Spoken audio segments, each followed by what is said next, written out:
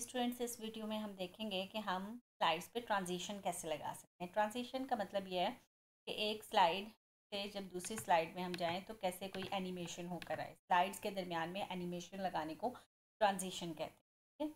इसको हमने जब स्लाइड्स हम स्लाइड्स एक्चुअली होती ये हैं कि हम इस पर कोई भी टॉपिक लिख लें और इसको प्रेजेंट करना चाहते हैं। प्रेजेंटेशन देने के लिए स्लाइड्स बनाई जाती हैं।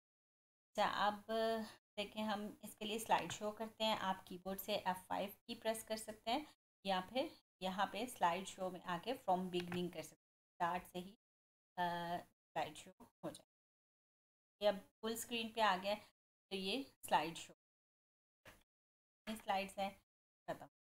अब ये, इसके दरम्यान में कोई ट्रांजेक्शन नहीं थी, कोई भी एनिमेशन नहीं हुई जब दूसरी स्लाइड आई। अब देखें हम इसमें क्या करते हैं इसको आपने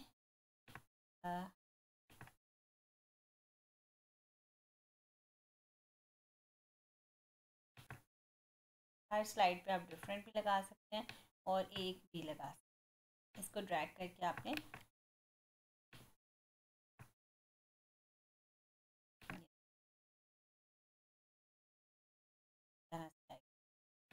आप लगा सकते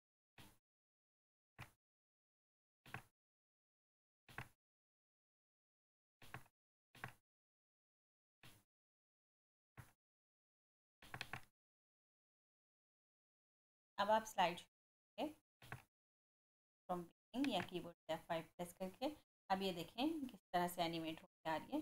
नेक्स्ट स्लाइड कीबोर्ड से एंटर प्रेस करने से नेक्स्ट स्लाइड आएगी और ये ट्रांजेक्शन प्रैक्टिस करें।